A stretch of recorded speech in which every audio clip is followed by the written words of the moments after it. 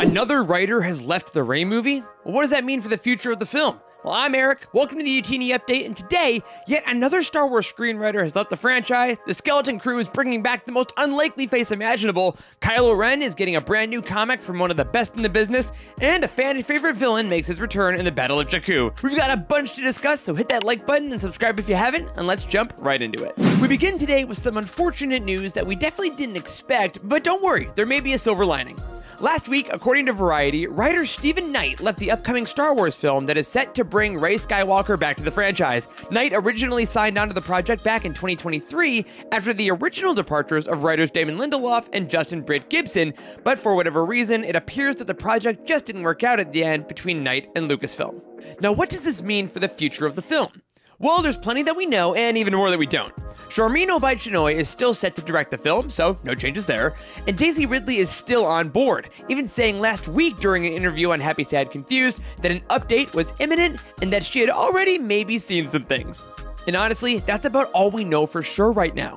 The film, reportedly surrounding Rey and her building of the next generation of Jedi, was originally slated for a December 2026 release, but depending on where Knight was in the writing process, this move could possibly delay the movie by an entire year, even though Lucasfilm is reportedly already on the hunt for a replacement. The reality, however, is that the carousel of creatives surrounding movies is nothing new, but the publicity of those moves, as far as it pertains to Star Wars, absolutely is. We spoke a few weeks back about another article that posed the question Is Disney bad at Star Wars? And while the overall answer of that was no, there was an undeniable feeling that due to 10 different directors having projects shelved over the last few years, the faith of the fandom is a bit shaky when it comes to movies actually being made. Now, whether Knight's departure is the sign of bigger issues to come, or if we're just making something out of nothing, we'll have to wait and see. But does this latest departure make you worried, or do you think this is a problem that's already been resolved? Let us know in the comments down below. Now, in confirmed Star Wars project news, we got a bit of a surprise last week courtesy of David Lowery, one of the directors for the upcoming show Skeleton Crew. During the Empire Magazine's Director Roundtable, Lowery talked about his episode of the series and what he in particular was excited to bring to the Star Wars franchise. As the director of previous family friendly films like Pete's Dragon and Peter Pan and Wendy, where he actually worked with Jude Law, Lowery is no stranger to working with a young cast, but he confessed that he was most excited about bringing back a rather unusual piece of Star Wars lore the Teek. Now, if the Teek doesn't sound familiar, I can't blame you. This guy was brought into Star Wars in the Battle for Endor, a 1985 made-for-TV Ewok movie, and he hasn't been seen since. He was known for being a bit mischievous and rather quick, but aside from his brief appearance on the Forest Moon, he has remained absent from the history of Star Wars.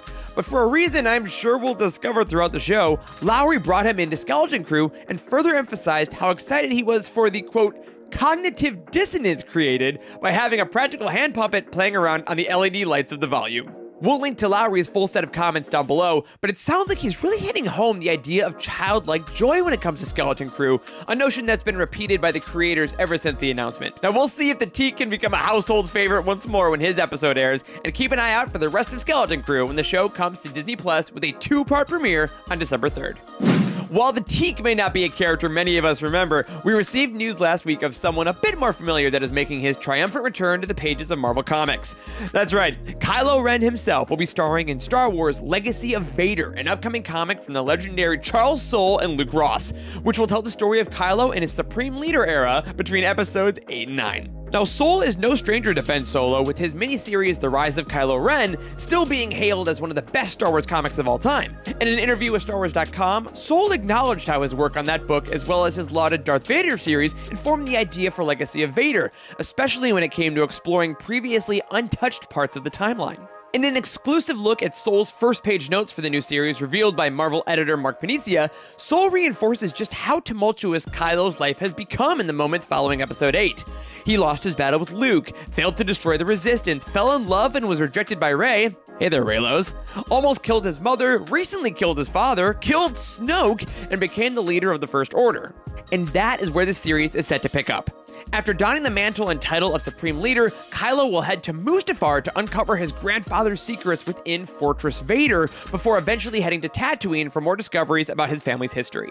Fans of Soule know that he remains one of the best comic writers out there, and just by this brief preview, this already may become one of his best. For a full look at Soule's comments about Legacy of Vader, as well as a first look at the interior art for the series, be sure to check out the link in the description down below. Our final story this week also revolves around Star Wars comics, but this time we're looking at the Battle of Jakku, the current series revolving around the final fight of the Galactic Civil War. The 12 issue series is currently being released by Marvel and will act as a transition between Return of the Jedi and the new slate of ongoing comics we will undoubtedly receive next year. However, thanks to an early preview of an upcoming variant cover, we just figured out that a fan favorite villain has already arrived. Spoilers ahead for the Battle of Jakku. Back in the Battle of Jakku Insurgency Rising number 2, we got to welcome back some great characters like Kes Dameron and Grand Admiral Sloane. But in Sloane's scene specifically, a shadowy figure emerged wearing a particularly fantastic red cape.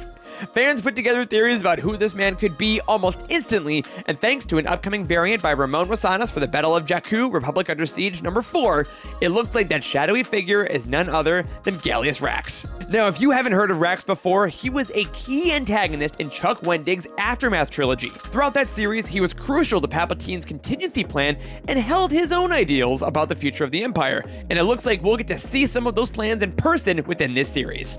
Personally, the Aftermath series is one of my favorites in all of Star Wars, and the Battle of Jakku series has already been scratching that itch when it comes to big, sprawling, important events in the history of Star Wars. And with the inclusion of Rax confirmed, this series only promises to get more and more epic as issues go on.